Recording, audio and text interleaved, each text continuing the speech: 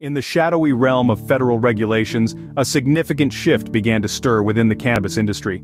A set of long-awaited documents emerged from the US government confirming a remarkable recommendation. Cannabis, a plant both hailed for its medicinal properties and maligned for its psychoactive effects, was to be reclassified as a Schedule III substance.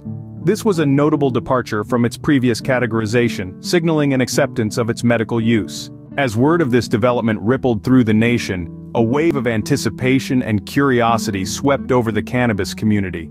The documents brought with them a new understanding of the government's perspective on marijuana, acknowledging the plant's medicinal properties in a way never before seen.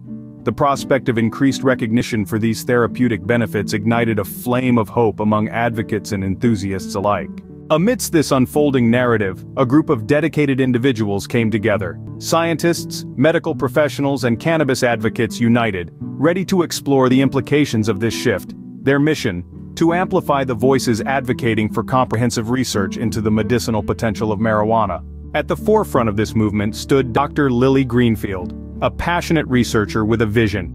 With these newly released documents in hand, Dr. Greenfield worked tirelessly to turn this development into a catalyst for change. She dreamed of a future where patients could access marijuana-based treatments with ease and where the stigma around the plant would be a thing of the past. Challenges were inevitable. Skeptics and traditionalists questioned the new perspective on marijuana's medical utility. But Dr. Greenfield's unwavering dedication, coupled with the support of like-minded individuals, began to turn the tide. Hearts and minds slowly started to open to the idea of embracing the plant's medicinal potential. The story reached a crescendo in the legislative chambers, where discussions around marijuana reform began to boil over. The revelations from the released documents fueled intense debates and prompted lawmakers to reassess their stance on the plant.